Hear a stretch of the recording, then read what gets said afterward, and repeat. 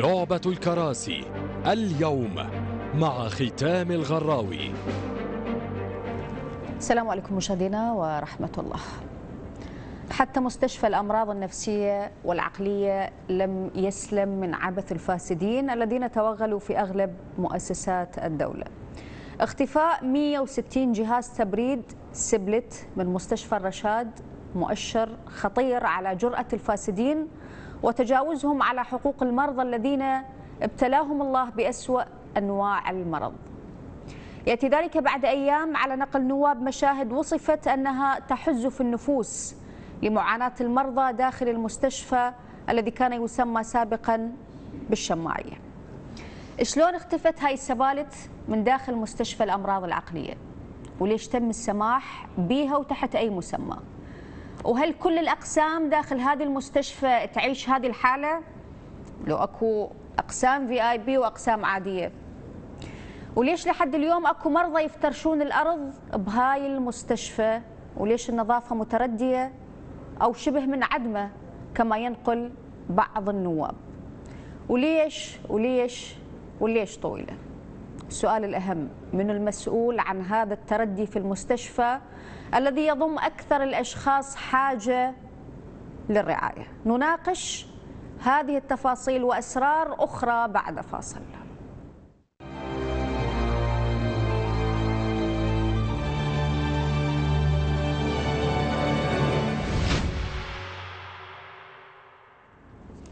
أهلا بكم ونرحب بضيفنا الأستاذ محمد الربيعي رئيس مؤسسة النهرين لدعم الشفافية احييك سيد محمد أهلا ومرحبا. وأيضا إحنا بانتظار أن ينضم معنا السيد باسم الغرابي عضو لجنة الصحة النيابية وأيضا السيد علي البياتي عضو مفوضية حقوق الإنسان السابق. احييك مجددا سيد محمد. يعني حقيقة ما نعرف شو نقول.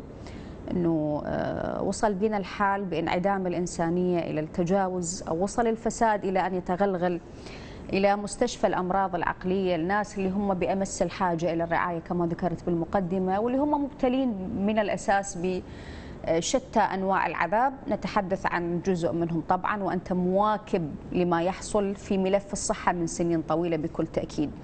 قبل ما نتحدث بشأن اختفاء أكثر من 160 جهاز تبريد داخل هذه المستشفى شنو دا يصير داخل مستشفى الرشاد وشنو الأسرار اليوم اللي ما يعرفها المواطن؟ بداية تحية طيبة لكم وللجمهور الكريم. حقيقة إنه مستشفى الأمراض العقلية هو أحد مكامن الفساد مم. في قطاع الصحة. زين. توجد فيه أكثر من باب من أبواب الفساد، الأول إنه هو إحالة محكومين بقضايا جنائية إلى مستشفى الأمراض العقلية.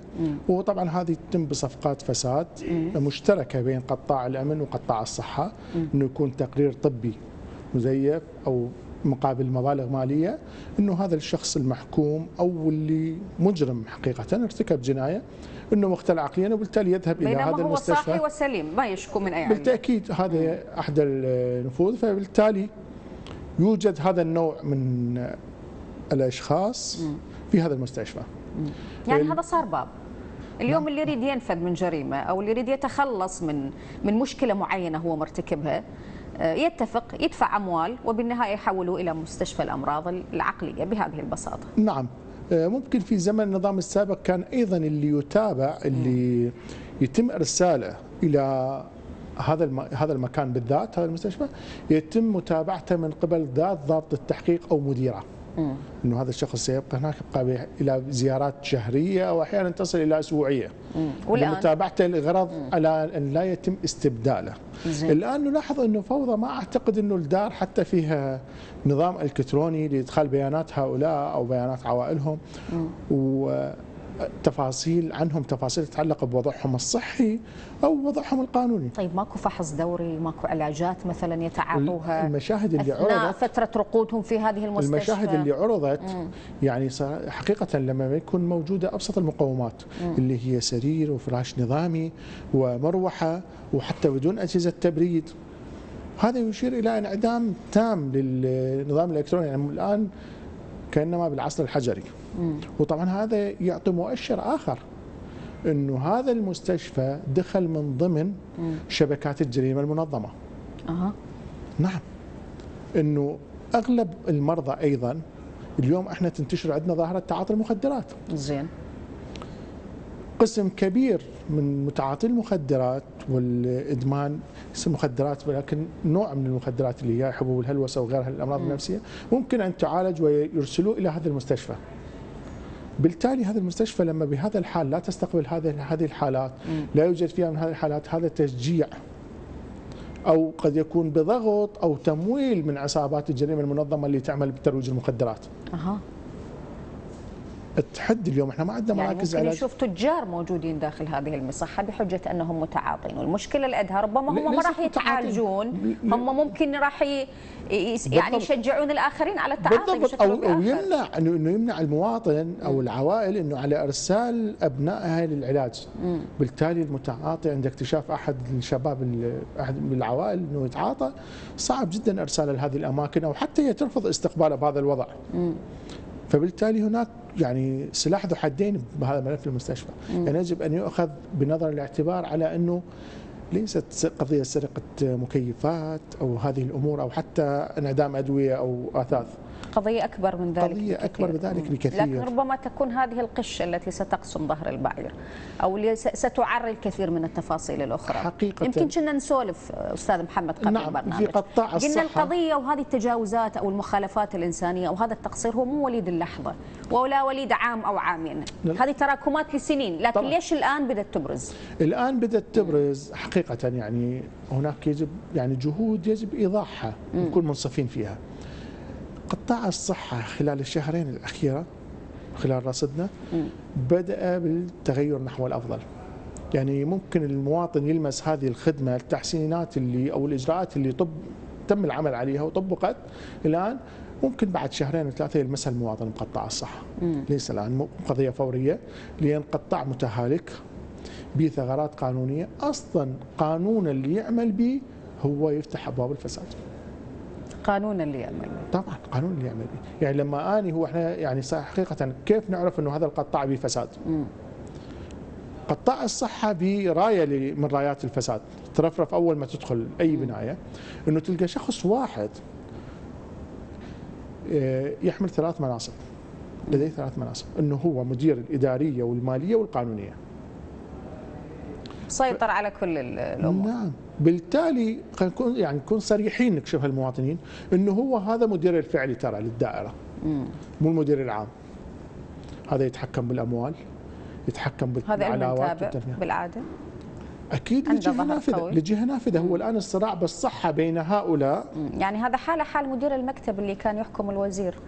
هذا فيما أقوى من. مدير المكتب. مم. أقوى بكثير. أقوى. ولا ننسى أنه قطاع الصحة خلال جائحة كورونا يعني رصدت إليه أموال كبيرة. نهبت. بدأوا يعني نتج عن عن فسادهم نتجت جرائم عديدة. أما وما تحتاج آه، آه، يعني تفاصيل كثيرة حتى نعرف وين راحت الفلوس. المواطن العادي يمكن من يروح للمستشفى راح يتساءل وين الأموال اللي تصرف على على قطاع الصحة؟ إذا يروح يا دوب يلقى له سرير نظيف ينام عليه بالمستشفى وراشيتة العلاج يروح يشتريها من برا. هاي إذا راح أصلا لمستشفى حكومي. ليش هو منو ينوم بالمستشفى؟ منو ينوم بالمستشفى؟ أنا يعني أذكر آه، أحد الاطباء بالسنوات السابقة ذكر إنه اللي يتحكم به باحد المستشفيات العامة ببغداد إنه يتحكم به قاطع التذاكر، قاطع التذاكر. قاطع التذاكر بصفته مسؤول يعني؟ طبعا. قاطع تذاكر بالمستشفى. متنفذ يأتي بسيارات ولديه حماية. أها. يدخل للمستشفى يوزع يقوم بتقطيع آه، فايلات ملونة. آه، يقوم بتوزيعها على الأطباء الاختصاص. مثلا طبيب يأتي طبيب اختصاص. صباحا في المستشفى العام في منطقة فقيرة يأتي بحدود 100 مراجع. زين. آه، الأخ يعطيه 20 كارت مثلا للتحليلات 50 آه، كارت حسب اللون أحمر أصفر أزرق وهل مرتبهن بالضبط. آه، للأشعة. خمسة للمفراس فقط لأن هو التجاره بالمستشفيات العامة على فحص المفراس. يعني هذا سمح له أن يتاجر بهاي الطريقة؟ وين النزاهة؟ وين الوزارة؟ وين المسؤول داخل المستشفى؟ هذا أحد شنو هذه الفوضى هذا والتسيب؟ هذا أحد أساليب الفساد اللي لما هم المستشفى قاطع التذاكر يحكم مستشفى بأكملها نعم هذا من- ويسير الأطباء داخل المستشفى نعم، ويتحكم نعم. بحياة المرضى نعم. منو هذا الشخص منو وراه؟ كثير كثير من هذه الحالات السلبية لا موجوده تقول لي يجي عنده. حمايات وسيارات و... بالضبط هذه كانت على فكرة هذه اللي حكاها أحد المسؤولين بقطاع الصحة في مؤتمر دولي وضحها مم. حقيقة خارج موجودة. العراق طبعا حقيقة وذكر المستشفى. وفي مستشفى كرخ أو رصافة؟ في, في عام 2000 حتى ما نحدد في. عام 2017 بالضبط. بالرصافة ولا الكرخ المستشفى؟ ما يختلف الواقع بالكرخه والرصافة. ما يختلف المستشفيات العامة. آه، فبدأت إنه تنكشف ملفات بقطاع الصحة كثيرة. آه، أيضا هناك قضية أخطر من باع التذاكر. هناك قضية الأجهزة الطبية الحديثة التي تخزن ولا يتم استعمالها ومن ثم تسرق منها قطع أو أجزاء حساسة أو الأجزاء الإلكترونية ويتم من بعدها انه فحص هذه الأجهزة وتبويب أنها لا تعمل وصيانتها تكلف مبالغ باهظة الأفضل انه يقومون ببيعها. فيقومون ببيع جهاز سعره 300 ألف دولار بمبلغ 10 ملايين دينار بالمزاد وباقي الأموال. ليشتريه مستشفى أهلي لأحد المتنفذين بالقطاع الصحة. ويقوم من المهندس الذي بوق- قام بالتوقيع على المحضر أنه هذا الجهاز غير صالح للعمل بنصبه في المستشفى والعمل عليه براتب شهري. الله أكبر. كثير من هذه الأمور لكن الآن وزارة نسال الصحة القطاع الصحي وزاره الصحة الأموال وين تروح؟ ما انبنت مستشفى ماكو أجهزة ماكو أسرة واقع صحي متردي. يقول لك أكو أجهزة موجودة بالمستشفيات الحكومية ما موجودة حتى بال- بالمستشفى الأهلي. حسب إدارة المستشفى. يعني إحنا من خلال تجوالنا في عشر محافظات على دوائر الصحة آه، اللي شاهدناه القضية المتقدمة المستشفيات المتقدمة في كربلاء. هناك حرص من الكادر. الموجود والأطباء الموجودين على العمل بإخلاص وتفاني في قطاعات بقية للأسف في محافظات بقية الأمر سيء جدا. والإدارة تتحدث عن أجهزة باهظه الثمن وربما عقود تك- تكلفنا مليارات ال- الدنانير والدولارات. أكيد، أكيد. تباع بأثمان أخرى والباقي تروح بجيوب الفاسدين. هو هو ليس بجوب الفاسدين، الفاسد ذاته ينتفع بقطاع الصحة الفساد مركب.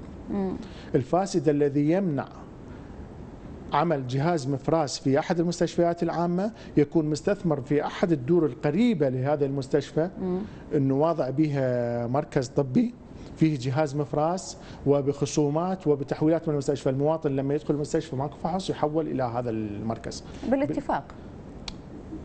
طبعا بالاتفاق أكيد أحيانا بالاتفاق. حتى الطبيب نفسه من تروح له هو يداوم بحكومي ويداوم بخاص. يختلف حتى تعامله بين الحكومي والخاص. بالضبط لأن ما عندنا تروح له يصرف لك علاج ويسوي لك كل التفاصيل لكن كنت تدفع مبالغ نعم لأن ما عندنا قانون يمنع الطبيب بالقطاع العام إنه يعمل بالقطاع الخاص طيب. حتى الآن. والوزارة هاملة جدا تفعيل دور العيادات الاستشارية. مم. طيب خليني أستاذ محمد أنتقل للسيد علي البياتي صار جاهز ويانا وبعدها نعود ونتحدث عن باقي التجاوزات ال- الإنسانية واللا أخلاقية. أحييك سيد علي إذا كنت تسمعني بوضوح. تحية طيبة لك عزيز ولضيفك ومشاهديك أهلا ومرحبا بك. كيف يتم السماح بالتجاوز على حقوق المرضى داخل مستشفى الأمراض العقلية وهي مستشفى الرشاد اللي نتحدث عنها اليوم؟ إذا ما تحدثنا عن اختفاء أكثر من 160 سبلت والبعض يقول حالة المرضى داخل المستشفى حرجة جدا. بسبب ارتفاع درجات الحرارة. ناهيك عن انعدام الخدمات الأخرى ماكو حمامات ماكو مياه داخل الحمامات وضع مزري تعامل سيء غير إنساني عدم وجود أصلا معاملة صحية صحيحة أو أو أو متابعة من قبل أطباء مختصين. هذا مو انتهاك لحقوق الإنسان سيد علي؟ نعم. يعني ابتداء من خلال عملنا في مجال حقوق الإنسان يعني وصلنا إلى قناعة في قضية حقوق الإنسان أنه كلما أو العلاقة ما بين المواطن والحكومة هي علاقة عكسية مع قضية الانتهاك. يعني كلما زاد التقارب ما بين المواطن ومؤسسات الدولة كلما زاد الانتهاك. يعني المواطن في بيته هو أبعد من الانتهاك صراحة. هذا هي بالقاعده الأساس. بالتالي أي حالة تماس بين هذا المواطن وبين موظف الدولة والمؤسسات خاصة عندما يكون هناك تكون هناك أموال يزداد هذا الانتهاك. وهو وهي نفس القاعدة على مستوى المستشفيات والسجون ومراكز الاحتجاز. نعم يعني تختلف مؤسسات الدولة الصحية ووزارة الصحة أنها يعني تتعلق بخدمه حساسة تخص حياة الإنسان. لذلك نرى أن كل الدول التي تحترم شعوبها نرى أن أحزابها تتنافس دائما على هذه القطاعات يعني قطاع الصحة دائما موجود في الصدارة في البرامج الانتخابية في الشعارات وبالتأكيد يكون دائما هناك تنافس يعني في في شعاراتها وفي أجندتها وفي برامجها الحكومية. العراق يعني ابتداء مشكلته في القطاع الصحي وليس بحديث صراحة يعني منذ التسعينات تم تخفيض ميزانية وزارة الصحة إلى 10% وفي سنة 2003 تم استهداف ما يقارب 12% من المؤسسات الصحية. قتل ما يقارب 2000 طبيب خلال فترة الحروب. وبالتالي اليوم يعني الأرقام المتوفرة عندنا تقريبا إما نصف أو ثلث المطلوب عالميا. يعني نسبة الأطباء أو عدد الأطباء لكل 10000 هو ستة فقط، عدد الممرضين 11 فقط، عدد الأسرة تقريبا ما يقارب 15 فقط. هذه الأرقام توصلنا إلى قناعة أنه القطاع الصحي لم يختلف عن بقية القطاعات في أفق القوى السياسية، يعني القوى السياسية والأحزاب باعتبار هي التي تدير هذا البلد تتعامل مع هذا القطاع كونه يعني أداة للمحاصصه حال حال وزارة النفط ووزارة الدفاع والداخلية بالتالي وزارة الصحة بقت مصدر تمويل لهذه الأحزاب. يعني ما الذي يدفع مثلا حزب معين أن يقاتل على هذه الوزارة لسنوات أو في حكومات؟ هذا دليل أنه هناك مصدر تمويل لهذا الحزب. وعلى الرغم من أننا دائما نطالب أو نشير إلى أن تخصيصات وزارة الصحة هي قليلة لا ترقى إلى المستوى العالمي ولكن هناك أيضا دعم دولي لهذه المؤسسات. واعتقد ضيفك العزيز ذكر أن هناك في فترة كوفيد على أقل تقدير كان هناك دعم مفتوح. كل هذه الأمور هي تدفعنا أو توضح لنا أن وزارة الصحة هي فقط مصدر تمويل لجهات سياسية، الموضوع لا يتعلق بخدمة وهاي مصيبة يعني ذكرنا قبل قليل وذكر أستاذ محمد أنه قاطع التذاكر يتحكم بمستشفى بأكملها ويوزع نعم المهام على الأطباء هذا على. مستوى موظف بسيط داخل المستشفى، كيف بنائب نعم. بوزير. برئيس كتلة، هذا شيء يسوي داخل المستشفيات؟ ليس فقط يعني هذا أختي العزيزه أنا من خلال كوني طبيب وتأتي الكثير من الرسائل، هناك موظفين اليوم في دوائر الصحة بصراحه بصراحة يعني هم مسلط عليهم الجهات الفاسدة ويضغط عليهم لكي يمارسوا معهم الفساد لكي يوقعوا لكي يكونوا جزء من هذه اللجان التي يعني بالعلن تقوم بقضايا فساد، بالعلن لديها شبكات تتعامل مع شركات وتأتي بأجهزة من الصين وأجهزة غير مفحوصة وتدفع لها أموال كأنها أجهزة من دول أخرى يعني موثوقة ومصادر كل هذه المنظومة والشبكات تبقى حتى مع تغير المسؤول. يعني من الملاحظ إنه عندما يعني أقصى ما نصل إليه اليوم على سبيل المثال عندما نثير قضية أقصى ما سنصل إليه إنه سيتم إقالة هذا المسؤول وسيتم تبديله بشخص آخر وهذا الشخص يكون وهذا ما حدث حتى في الشبكة. مستشفى الرشاد. لكن ال- ال- المشكلة يعني ما انتهت من جذورها أنا متأكدة.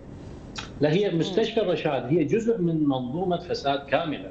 بكل تأكيد هي تعود ل 2003 حتى ما قبل 2003 فاليوم يعني إقالة هذا الشخص هو ليس بحل إقالة الشخص يعني سنأتي سنأتي بشخص آخر سيكون جزء من هذه الشبكة المسؤول عن الفساد والإقالة بلا محاسبة هذه أيضا مشكلة. نعم. يعني هسه يعني هاي تفصيله يجوز بسيطة لكن هي عواقبها وخيمة وإحنا في في أحر شهر بالصيف داخل العراق وربما المرضى وضعهم لا يتحمل هذه التفاصيل. وين راحت السبالت منو أخذها؟ هاي آخر حادثة صارت. شلون؟ يعني طلعت منو رتب. لها. تم بيعها تم بيعها بكل تأكيد. وهذا بكل تأكيد. يعني إذا بحثنا آه، في الأعماق نجد هناك ملفات فساد كثيرة. يعني دائما ما يصل إلى الإعلام هي مثل قمة الج... قمة جبل الجليل.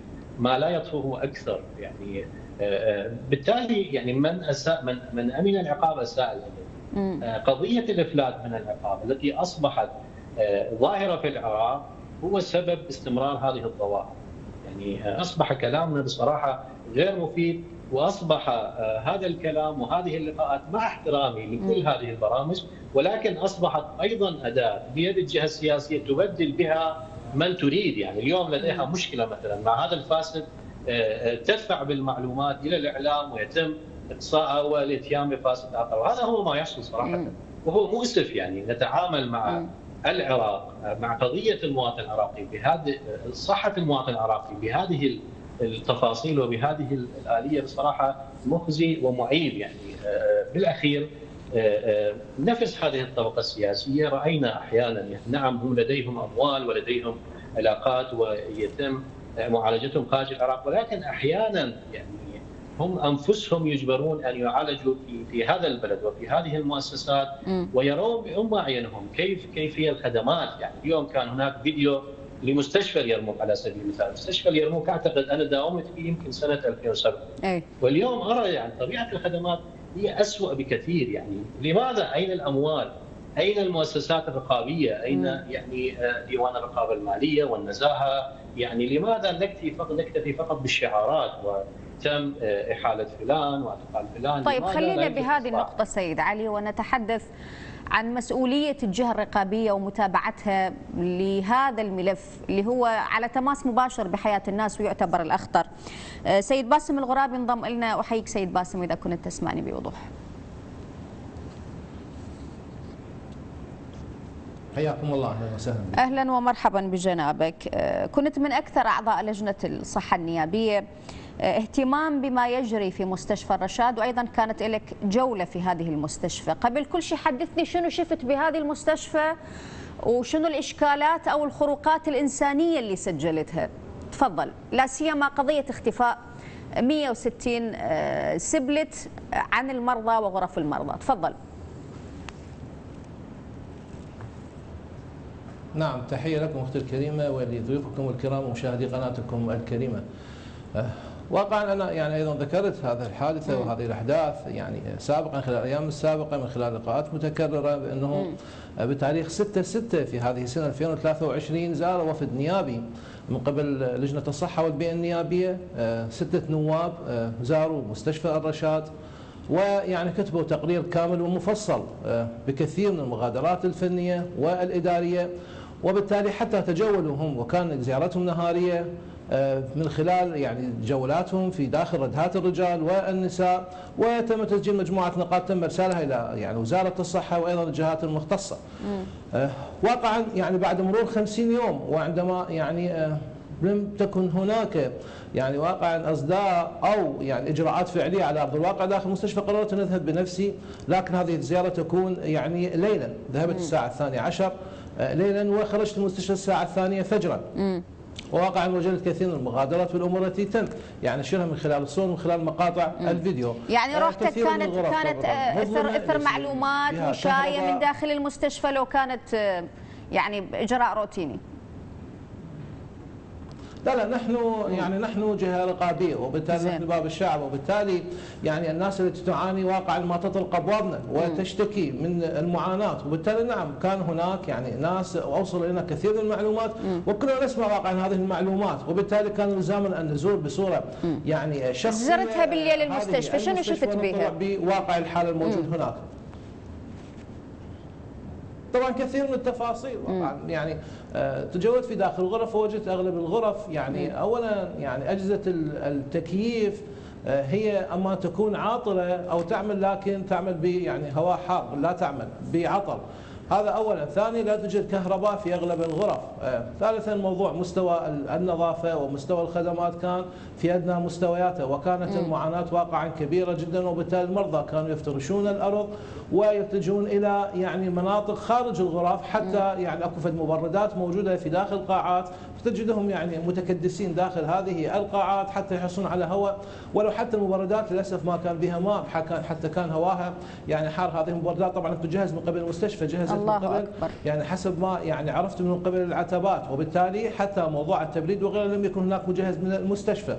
آه، موضوع الحمامات والصحيات أيضا وجدت يعني هناك وقع اتساخ ويعني لم تكن هناك يعني نظافة تليق بهؤلاء المرضى. تعرفون هؤلاء المرضى يعني آه، هم لا يستطيعون التكلم لديهم أمراض نفسية وعقلية وبالتالي لا يستطيعون الشكوى. أيضا موضوع العلاجات الطبية والعناية الطبية وقع وجدت بها يعني آه، حيث كبير وبالتالي وجدت أنه فقط هناك طبيب آه، باطنية واحد خلال الأسبوع آه، لمرة واحدة يزور هذه المستشفى لعدد 1450 مريض واقعا لم تجد هناك يعني مشاهدة دورية وفحص دوري لهؤلاء. المرضى وبالتالي حتى أعداد الأطباء تعرفون هذه المستشفى تكون من المستشفيات الطاردة يعني لكثير من الأطباء وحتى الممرضين حتى المعين نفسه اللي هو أحيانا يعني يستبدل ملابسهم وينظفهم ما لم اجد هناك لا عامل خدمة ولا حتى معين يعينهم. وبالتالي تم تصوير هذه المو يعني المقاطع والصور ويعني سجلنا هذه الملاحظات وبتقرير مفصل كامل تم إرساله إلى السيد رئيس مجلس الوزراء ووزارة الصحة ولجنة حقوق الإنسان وباقي الجهات المختصة. يعني هذه المستشفى أبسط الخدمات معدومة بها. لا كهرباء إحنا بدنا نحكي على السبالة طلعت مبردة أصلا ماكو والكل متكدس بغرفة واحدة بل فراش ماكو ينام عليه المريض. مثل ما ذكرت الحمامات معدومة مياه ماكو صنابير عاطلة. ما أعرف هذا المريض شلون يمارس حياته اليومية بهذا المكان. طيب قلت ماكو عمال خدمة ماكو ممرضين أطباء كافيين ماكو نعرف الأعداد كبيرة هناك وأغلبهم يحتاج إلى رعاية وإلى متابعة. طيب مو المفترض أكو تعاقد مع شركة خدمات ورعاية من قبل هذه المستشفى؟ نعم وجدت هذا الموضوع. وين وين رايحين؟ وين هم يعني شركة خدمة أعتقد شهريا 30 مليون يصرف لها. أنا لم اجد عامل خدمة واحد واقعا لنا وسألت عنه وقالوا ما موجود. يعني عمال الخدمة وبالتالي وال 30 مليون هاي ندفعها على شنو شهريا؟ بالليل تعرفين تضعف موضوع الرقابة وغيرها. يعني ما يعني هو هذا يعني إحنا كتبنا بتشكيل لجان تحقيقية بهذا الخصوص وصرفيات هذه المستشفى. واقعا لسنة يعني 2022 واذن 2023 منذ شهر كانون الثاني إلى حزيران. بالضبط نعرف هذه الأموال يتم صرفها أين بوبت وبالتالي يعني 360 مليون سنويا تقريبا. إحنا ندفع 30 مليون كل شهر على شركة خدمات وبالنهاية ما نلقى عامل واحد نعم. يخدم في هذه المستشفى. هذا فساد لو مو فساد. إي ماكو واحد يراقب يتابع يشوف المستشفى. أختي الكريمه نعم نعم نعم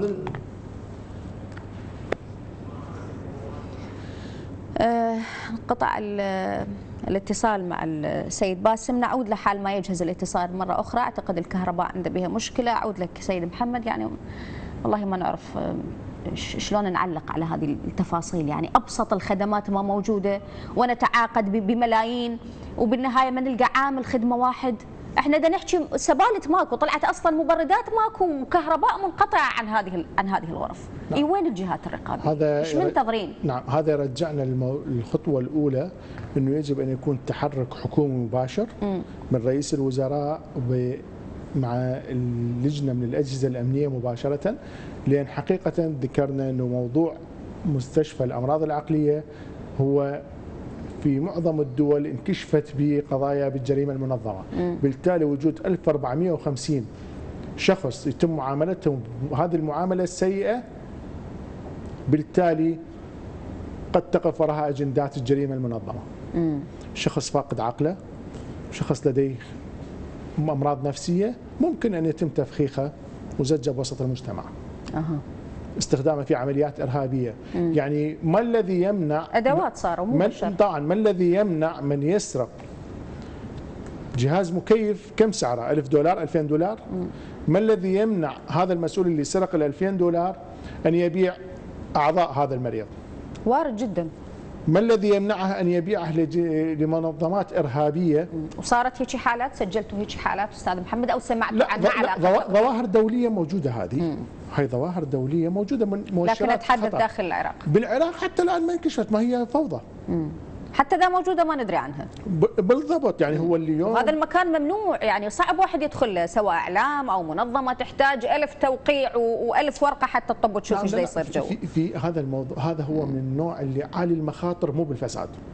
عالي المخاطر الأمنية عالي المخاطر على المجتمع. مو فقط الفساد. الفساد بقطاع الصحة حقيقة مو باجهزه التبريد وغيرها. الفساد واضح. يعني حتى اليوم لما غير مدير الصحه أنا ذكرت إنه مشكلة بها إنه مدير قسم الإدارية والمالية والقانونية شخص واحد. المدير دوره هامشي. كبر بالضبط غيرنا مدير لكن الأساس موجود. لكن ما الذي يمنع؟ هذا خطر أمني كبير. لا يقل خطر عن السجن للإرهابيين على فكرة. بالتالي معاملتهم بهالطريقة هذه يوحي أو يشير إلى ضغط عليهم نفسيا إعدادهم كمشاريع إرهابية في المجتمع. هذا المقصود من وراء. ولا ما القصد من عدم توفر حتى مياه للمبردات. اليوم ما جاء لا لا مياه شرب ولا الأطعمة نوعية الأطعمة. ولا حمامات. بالضبط. هذا كله عمليات ضغط نفسي. يعني هو شخص آه، عنده خلل عقلي أو مريض نفسيا بالتالي أنا عرضه لهذا الضغط من الصدمات. شنو راح ينتج عنه؟ اليوم لو سجنت اعقل مواطن. حتى الصحي يطلع مخبل أستاذ. بالتأكيد. عملت راح ينضغط بالتالي وين أنت راح؟ وين مصيره؟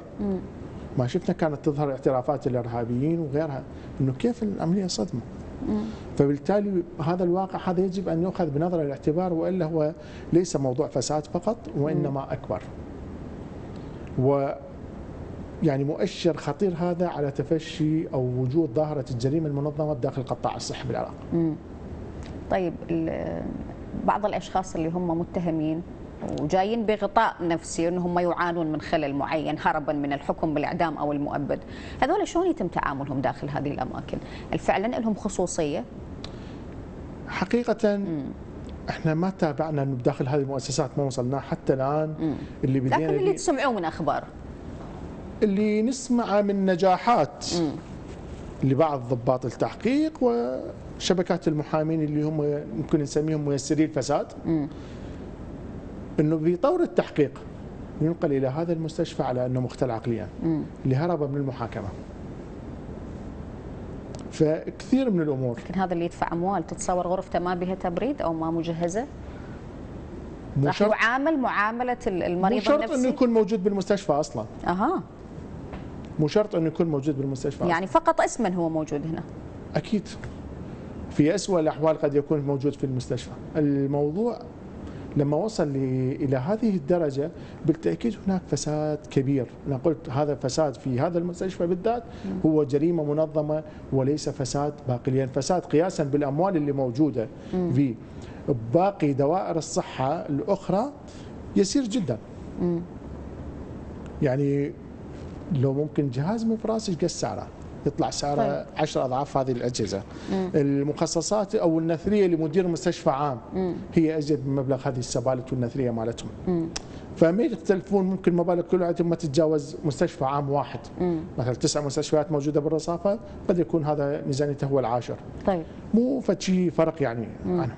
لكن مخاطر الفساد به والجريمة المنظمة عالية هذا المكان. طيب خليني أعود للأستاذ علي وطبعا أنوه أنه حق الرد مكفول سواء لوزارة الصحة للمعنيين في مستشفى الرشاد آه، حق الرد مكفول بالتأكيد على كل ما ذكر آه، من معلومات أو من تساؤلات داخل هذه آه، أثناء هذه الحلقة. سيد علي أعود لك بتعقيب عندك تعقيب على ما ذكر ال- الأستاذ الغرابي حول أوضاع المرضى وحالتهم المزرية جدا وعدم وجود أطباء أو معالجين أو حتى خدمات. للعلم ذكر إحنا متعاقدين مع شركة ننطيها شهريا 30 مليون لكن من زار المكان ما لقى موظف واحد يعتني بهؤلاء وكلهم متكدسين في مكان واحد خارج الغرف بسبب انقطاع الكهرباء والحالة الصعبة جدا لهم.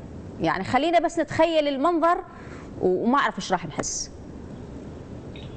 نعم يعني هو ابتداء على المستوى الإداري والفني هو متوقع يعني هو جزء من دوائر الصحة التي فيها الكثير من يعني ملفات الفساد المعلنة وهي معروفة للإعلام وللقاصي والدانية. ولكن في قضية يعني المرضى المتواجدين في هذا المستشفى يعني هم يختلفون عن عن البقية أن أغلب الموجودين هم موجودين لسنوات يعني هناك من قضى 30 سنة من عمره 15 سنة في داخل هذا الموقع آه، أو البناية وأغلبهم يعني آه، مفقودي التواصل مع الأهل. هناك نوع من الانقطاع آه، يعني تعلمون أن قضية المرض النفسي لا يزال هو نوع من الوصمه الاجتماعيه يعني أغلب العوائل التي لديها مرضى نفسيين بل أنه حتى من لديهم أمراض عصبية وليس نفسية. مثلا هناك الكثير من مرضى الصرع الذين لديهم أمراض عصبية وليس نفسية تمزجهم في هذا المكان. م. فبالتالي أصبح هذا المكان أشبه بفندق يعني هو نعم ليس فيه خدمات ولكن آلية ل آه، مثل ما تحدث الضيف أستاذ محمد إنه يزج أحيانا المجرم في هذا الموقع لكي يتخلص من السجن، م. كذلك من يريد أن يتخلص من فرد من أفراد عائلته قد يكون له مبرر أحيانا ولكن أحيانا فقط للخلاص من مشاكله ومن الوصمة الاجتماعية تمزجه، بالتالي هؤلاء يعني ليس لديهم صحيح والدليل أكو متعافين لكن أهلهم ما يقبلون يستلموهم فلذلك يبقون عليهم داخل من هذه المستشفى. من خلال من خلال بعض التقارير الكثير منهم لديهم الرغبة والكثير منهم حتى تعافوا ولكن غياب البديل م. يعني آه, آه، ونحن نحن لدينا مشكلة في آه، التعاطي مع الخدمات النفسية، الخدمات النفسية سابقا كانت تعتمد فقط على المستشفيات يعني كان يسموه hospital based اليوم لا يعني صارت community based يعني لازم من الضروري أن تكون هناك خدمات تقدم داخل المجتمع.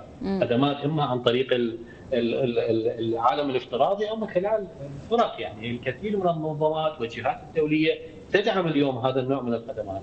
ولكن بحاجة إلى تفعيل بحاجة إلى إدارة من قبل وزارة الصحة. يعني بالتالي آه، خصوصيه هذه المواقع ومثل ما ذكر أيضا أستاذ محمد إنه لا يمكن لأي جهة أن تدخل إلا إذا كان يحمل مثلا صفه رسميه مثل السيد النائب ولكن كمنظمات كإعلاميين حتى كمفوضية حقوق الإنسان. أعتقد فرقنا لم تكن بقادرة على أن تتجول في كل الموقع فهي أصبحت أشبه بالسجون يعني مغلقة بالكامل. نعم قد نحتاج أحيانا أن نحميهم ببعض الإجراءات ولكن عزل هذا الموقع عن الجهات الرقابية والإعلام والمنظمات هو دليل على وجود فساد في داخل هذا الموقع. م. لو أخذنا مثلا آه، جزئية المخدرات والمتعاطين يعني حسب الإحصائيات الرسمية هناك سنويا زيادة تقريبا 4000 إلى 5000 آه، آه، إما متعاطي أو جزء من شبكة أو تاجر، بالتالي هؤلاء مهما كانت يعني جرائمهم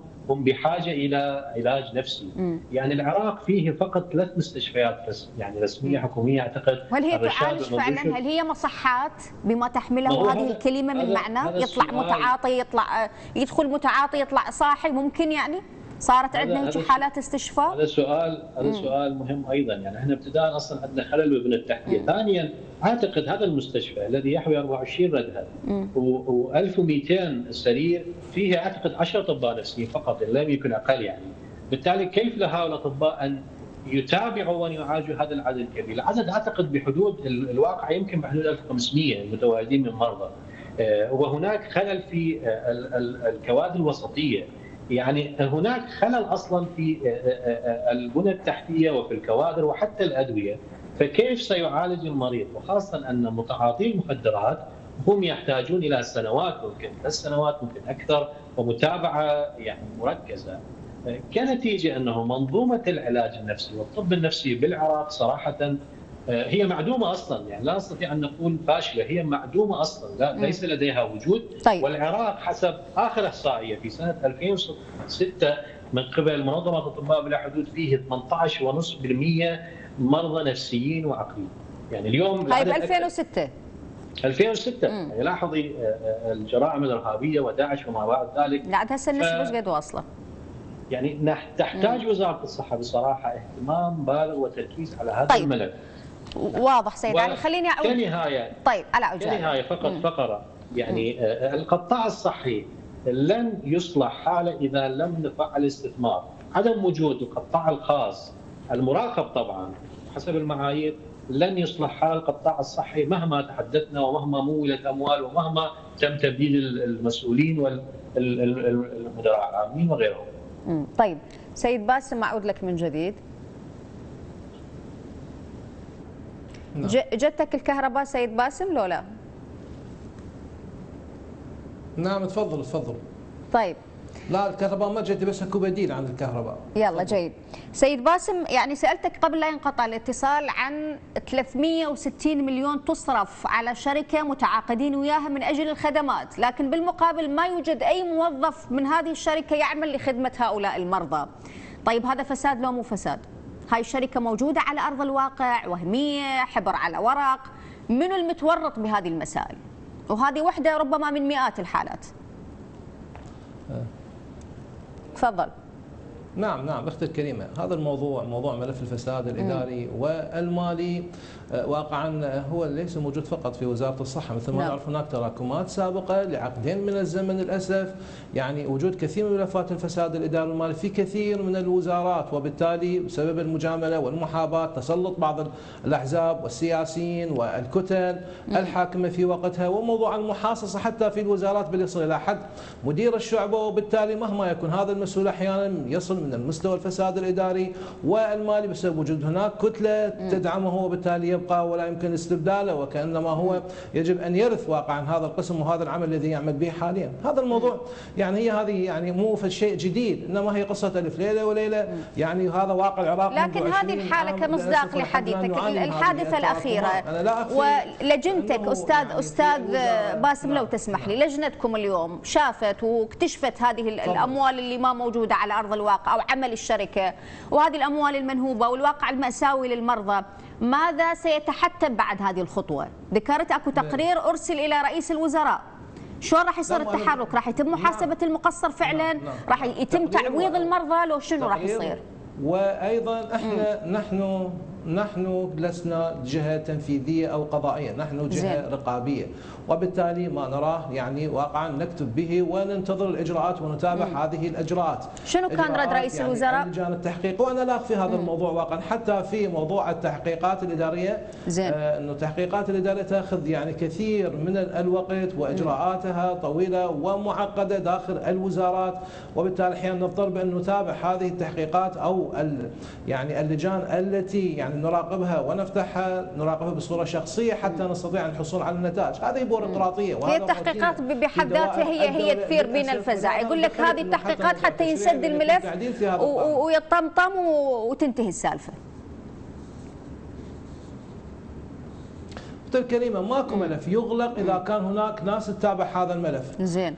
الملف أحيانا كثير من الملفات مفتوحة ويعني حتى في الجهات المختصة والمعنية لكن يكون هناك عدة محاور بأنه يغلق هذا الملف أو يعني واقعا يتم كأنما أهماله، اولا موضوع المتابعة، ثانيا موضوع المجاملات والمحاباة، فإذا لم تكن هناك مجاملة ومحاباه ومتابعة مستمرة تكون نتائج وأنا هذا واقعا ما جربته ولمسته بنفسي، كثير من القضايا فتحتها وبمتابعة شخصية وقد سجن كثير من المسيئين وضمنوا مبالغ كبيرة جدا من خلال هيئة النزاهة وجهت اليهم كثير من الإنذارات والتوبيخات هسه في وزارة الصحة وفي باقي الوزارات، نعم إذا ما تم مراقبة هذه الملفات سيتم هناك نتائج معينة وسوف يتم يعني معاقبة المسيء، أنا ردت أعلق في الشيء واحد موضوع المكيفات، أنا اليوم كنت في الوزارة وبالتالي هذه. المكيفات هي ليست جديدة بالمناسبة. يعني حتى انصافا بانه هذه المكيفات ال 160 اللي ذكرتوها في تقريركم بأنه هي مستهلكة قديمة لم يجدوها واقعا آه. حتى نعرف بالضبط لجنة التحقيقات حتى ما نظلم الناس. صح. تقول وبالتالي بعضها جديد وبعضها قديم. التي يعني شكلها السيد الوزير لمعرفة بالضبط هذه الأمور هو هذا هذا طبعا تيجي التحقيق إحنا راح نتابع بالضبط نعرف زين. بالضبط ما هو مصيرها وشنو وضعها وين راحن يعني ما نتحدث عن عن سبلة أو اثنين مستهلكات، هذا أيضاً من 162 انتظار الإجراءات. كما في تصريح الوزاره 162 جهاز تبريد هذا شلون نعم. عبار وين راح نعم نعم نعم بلي هذا يعني كل الإجراءات بالضبط نعرفها بعد انتهاء يعني اللجنة التحقيقية ونعرف بالضبط نتابع يعني مخرجات واقعا هذه اللجنة، أيضا موضوع الكهرباء ذكرتوه حتى للتصحيح إنه الكهرباء لم تكن مقطوعه، الكهرباء كانت موجودة لكن داخل الغرف لا يوجد مصابيح، يعني أحد الموظفين في لقاء يقول مثلا النائب شاف كهرباء داخل، لا لا أنا دخلت الغرف لكن ماكو مصباح، أكو قاعدة مصباح لكن ماكو مصباح في كثير من الغرف وبالتالي تكون الغرف أيضا مظلمة. بلي. غرف مظلمة ما بها هواء. ما أعرف ماكو فراش بالقاع مي ماكو بالحمامات أعرف ما جايبيهم نعذبهم إحنا لو نعالجهم. أنا اعتقد الجميع الجميع مقصر. إحنا يعني أستاذ محمد قبل. شوية يقول يقول هاي مؤامرة هذا شيء معد له هذول يتم ربما استخدامهم. م- منو يضمن هؤلاء ما يتم استخدامهم لأغراض إرهابية لربما انتزاع أعضاء من أجسادهم متاجرة ب- ب- أنا- أنا باعضائهم البشرية؟ وجود تقصير. وجود تقصير مو فقط يعني مو فقط من الجهات المعنية، أنا أقول أين مفوضية حقوق الإنسان؟